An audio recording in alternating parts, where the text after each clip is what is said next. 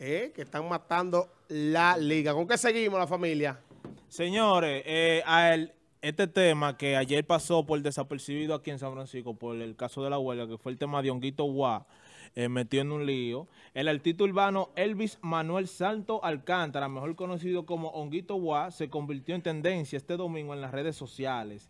Esta vez por un atropello a dos personas de las que se desconoce su identidad en Villa María, ubicado en el Distrito Nacional. En los videos difundidos a través de Twitter se ve al cantante salir de una jipeta blanca en su, supervisar el estado del vehículo, luego y posteriormente abandonar en una motocicleta el lugar. El vehículo en el que viajaba el cantante quedó destrozado en, parte en la parte delantera. El impacto provocó la expulsión de la bolsa de aire. Los dos hombres heridos involucrados en el accidente del artista urbano Elvis Manuel Santo Alcántara, mejor conocido como Unguito Guá, se, en- se encuentran estables, informó di- el Diario Libre y el director general de la Seguridad de Tránsito y Transporte Terrestre. Eh, Es esta persona que, que, que, que fueron... eh, ¿Tiene audio? Ok.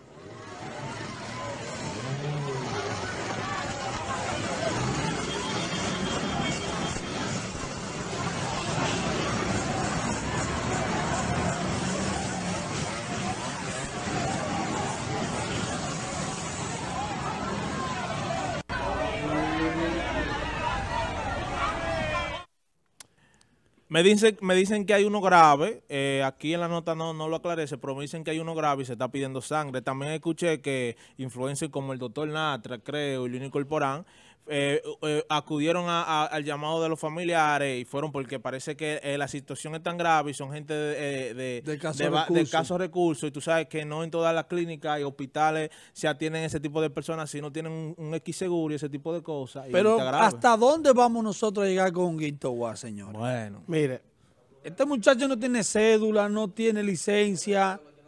Tiene licencia, tiene todo eso. Él tiene porque, No, yo creo... porque se dijo que no tenía licencia, ¿eh? Mira. Lo irresponsable de él es que se va. Claro. Y no ha dicho nada hasta ahora. Él se Ya, fue, un dato, voy a dar un dato, presión. perdón, un dato. Me dijeron que Honguito se fue del hecho porque habían personas que le iban a volar arriba, le iban a dar. Por el choque, encojonado, a él le iban a dar. Entonces hubo uno que lo, lo agarró y se lo llevó. ¿Y porque por- la iban personas que le iban a dar. ¿Y por qué no fue para la policía ¿eh? o para la MEN? No sé. Pero ¿Eh? le iba, él se fue supuestamente porque le iban a dar, le iban a, le, iban a aplicar en Yo creo que este muchacho, este muchacho debe, el equipo de trabajo, sea quien sea, debe ponerle un, un stop. ¿Tú crees? A los foques. Tiene, no, tiene que ponerle un... Oye, Bueno, ese ahí- muchacho tiene que ponerle un chofer y una gente que le diga, mira, se movió, fue para el baño, fue, fue para el colmado, estamos con él aquí.